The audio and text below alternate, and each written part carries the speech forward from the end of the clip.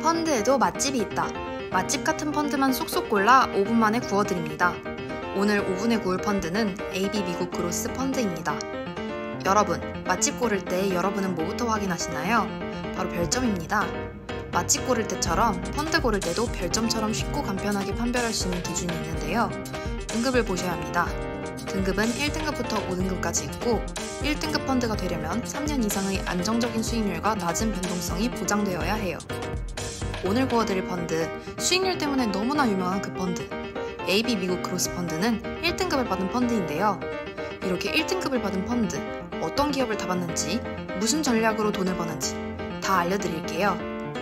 우선 푸딩 앱의 제로인 등급과 수익률 top 펀드 리스트를 들어가요. 오늘 우리가 구울 펀드가 해외 주식형 리스트에 있네요. 펀드의 이름만 다 이해해도 반은 먹고 들어가는 거예요. 펀드 이름에서 주목할 것은 그로스, 재간접입니다. 첫째, 그로스를 보면 주식 중에서도 성장주에 주로 투자한다는 것을 알 수 있어요. 둘째, 이 펀드는 또 다른 펀드에 투자하는 재간접 펀드입니다.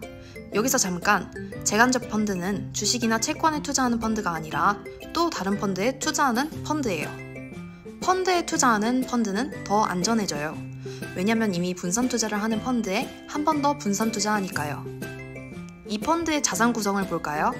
집합투자 증권이라는 게 무려 96.84%를 차지하는데 이게 바로 이 펀드가 투자하는 또 다른 펀드 AB American Growth 포트폴리오입니다. 나머지는 이 펀드에 투자하는 위험을 줄여주기 위한 또 다른 장치라고 보시면 됩니다. 드디어 포트폴리오입니다. 이 펀드가 담은 top 10 기업을 확인하려면 투자되는 펀드의 포트폴리오를 확인하시면 되는데요. 위에서부터 마이크로소프트, 알파벳 C, 아마존, 페이스북, 모두 IT 기업이죠. 역시 성장주 포트폴리오인 만큼 기술주의 비중이 크네요. 오늘 이 펀드를 구울 때는 어떤 레시피를 사용할 거냐면요. 성장주와 가치주로 나눠서 top 10 종목을 볼 거예요. 성장주랑 가치주는 쉽게 말해 가격이 좀 비싸지만 더 성장할 만한 주식, 성장 가능성은 낮지만 저평가된 좋은 주식이라고 보면 돼요. 자, 그럼 이 종목들이 뭔지 함께 보며 레시피 비밀을 파헤쳐 보아요. 성장주부터 볼게요. 마이크로소프트는 나스닥에 상장된 tech 기업이에요. 소프트웨어, 하드웨어 제품을 개발, 생산, 판매, 그리고 관리까지 하는 회사죠. 코로나로 인해 세계적으로 기업들의 사업 디지털화 수요가 강해지며 매출이 더 성장하고 있어요. 알파벳은 현대인이라면 누구나 쓰는 검색 서비스 기업, 구글의 자회사들이 모여 설립된 기업 집단이에요. 영업, 투자, 주주환원 다 잘하는 맞는 기업으로 평가되고 있어요. 이 또한 디지털화의 수혜주예요. 코로나로 더 빠르게 확대되는 온라인 광고 수요 덕분이죠. 아마존은 세계 최대 온라인 쇼핑 중개 회사예요. 최근에는 007 제작사 MGM을 인수하며 넷플릭스를 상대로 콘텐츠 시장의 영역을 넓혀가고 있어요. 페이스북은 2020년 6월 기준 월 실 사용자가 27억 명에 육박하는 거대 SNS 기업입니다. 최근에 미국 헤지 펀드들이 가장 선호하는 종목이 아마존에서 페이스북으로 바뀌었다고 합니다.